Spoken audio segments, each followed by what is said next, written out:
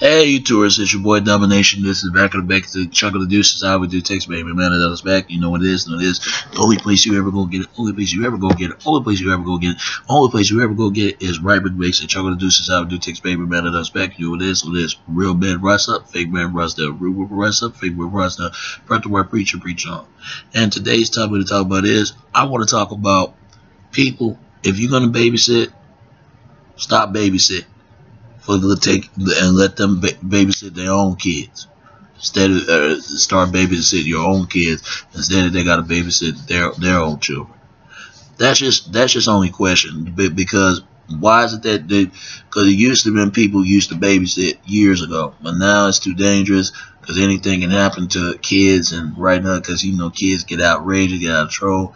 So if you're gonna babysit start babysit your own kids and let them babysit their own kids all right Hey, it's your boy Domination. There's a back of basic. You're gonna do since I have two text, baby.